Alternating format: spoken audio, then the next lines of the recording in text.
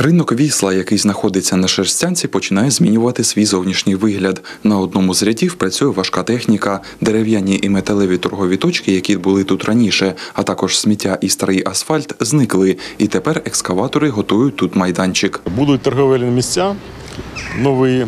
Е, Буде у нас тут лабораторія, буде у нас е, громадські вбиральні на території ринку.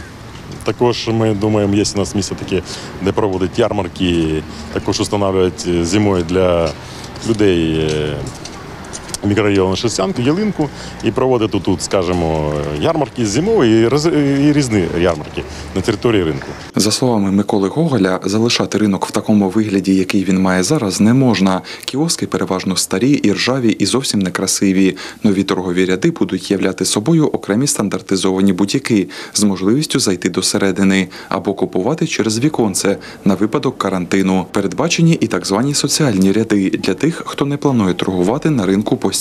І Ми демонтуємо в місті з ними, якщо це дуже старе, яке вже ну, в'ятки таке, що вже розвалюється і вивозить на е, металобрухт. А то, що ще більш-менш, е, людям треба працювати десь, вони, ми їх переставляємо на другу лінію, поки строїмо цю лінію, і вони там працюють далі. Люди залишаються, які працювали, які будуть працювати, всі люди залишаються на своїх торговельних місцях. Згідно з проектом реконструкції ринку, Вісла після оновлення зможе вмістити майже вдвічі більше торгових точок близько 200.